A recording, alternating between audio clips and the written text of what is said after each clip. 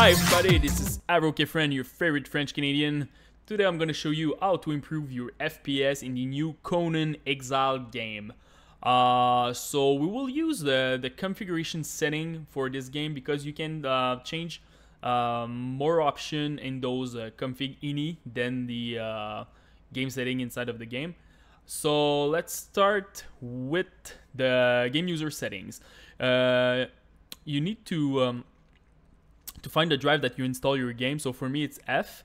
Uh, after that, you need to go to Steam Library, Steam Apps, Common, Conan Exile, Conan Sandbox, Saved, Config, Windows, No Editor.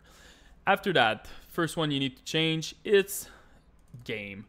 Game, you don't have a lot of option over there. The first one that you need to remove, it's Motion Blur. You will gain 3 to 4 FPS over there, just put 0 and it, for me it's it's a bad effect. I really don't like it. And you will gain more fps also the fov uh, if you more if you increase your fov you need to render more in front of you. So for sure you will lose fps so uh, you can downgrade downgrade your fov if you want.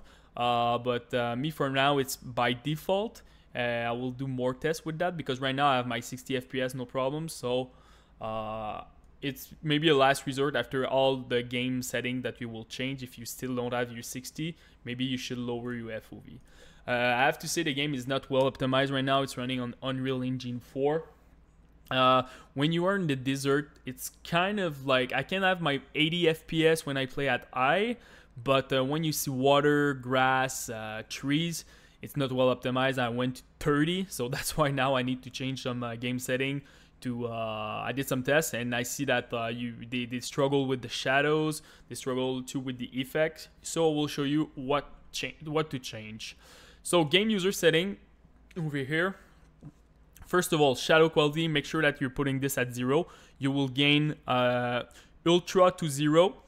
You will gain 13 FPS so that's a lot. Also effect quality and foliage uh, you can put one in even zero if you have like a I don't know mid-range computer or low computer and maybe a laptop. Uh, with the effect and foliage ultra to one, uh, you will gain five to seven FPS for each one. So here you can gain a total of 13. Uh, I have to say here in the game it's weird. Low equals zero, one equal medium. Okay, and three is ultra, two is high. So after changing this. Um, texture quality and granite texture quality. This one doesn't affect too much your FPS if you have a lot of VRAM. So for an example, uh, on my video card I have 8 gig, but uh, I was playing the game in full HD and not everything at ultra and the game went to 6 gig so that's that's a lot for a game because I'm just playing in full HD so if you have a video card with 4 gig 3 gig or less than that make sure that your texture quality you're going at 2 1 or 0 depending on how many gig that you have on your video card. Very important because you will lose a lot of performance if you're you don't have a, um, the minimum of gig uh, when you ask uh, I don't know for ultra texture in the game. So really important over there Post-process quality. This one really important too. At each bracket you can win 3 to 4 FPS. So uh, just do your tests. It seems that the game run uh, better on NVIDIA card. Uh, so for this one, look at your, if you have an AMD, just test it, put it at zero and test it because it's weird. Uh, I got more FPS with two than one. So, and I just update my driver too. I'm using the latest AMD driver. So kind of weird for the post process, but uh, just do your test on your own. Uh, finally, the last one, the view distance quality, very, very, very important. You can gain a lot of FPS. Ultra to low, you can gain 20 to 22 FPS. But this one, again, you will not see very further like in front of you. So uh, you should maybe test medium and see uh, how many FPS that you have with all the shadows, effect, foliage change. Uh, but for sure, it's a big one. But uh, it's a pain in the ass when you lower this one. So uh, anti-aliasing quality. This one, uh, I'm playing at I. you can gain three to four FPS for each bracket. But for me, anti-aliasing, it's a very important. Um, feature in a game, but not feature, but a, a graphic option. Because honestly, at low, uh, the game really suck. The visual quality, the graphic, I really don't like it. So uh, try a minimum medium. So put one if you really struggle with the FPS, and you can put uh, more if you uh, if you have more than uh, than 60. So. The last one is uh, resolution quality. Uh, this one match when you have 100, it match with your resolution that you put over there. Okay, your resolution X and Y.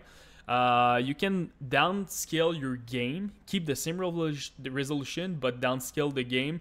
This one is pretty bad, honestly. If you go for, uh, lower than 80, you will see like crazy pixel in your game. So this one is very like last resort, okay? So uh, that's about it. Uh, the second part is make sure that your VSync is at false because you need to see more than 60 if, uh, if you're doing your tests. And also make sure that you don't have any frame limit here. So it needs to be 0 0 0 the other thing you can test uh, it's the uh, simultaneous high quality hair. I did some tests over there. Not sure what it's doing right now but I see a gain of 2 FPS not sure if uh, again it's re related or not. Uh, this one, uh, just make sure that you have a backup backup if you change it because uh, maybe you can break the game with uh, if they release like new patches and stuff like that.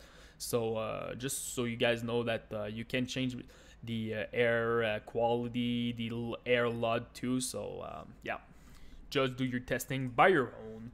So that's about it, guys. If you have any question, post me your rig, CPU, GPU, RAM, and I will try to help you the best that I can for your uh, settings. And don't forget to subscribe to my channel. Thank you.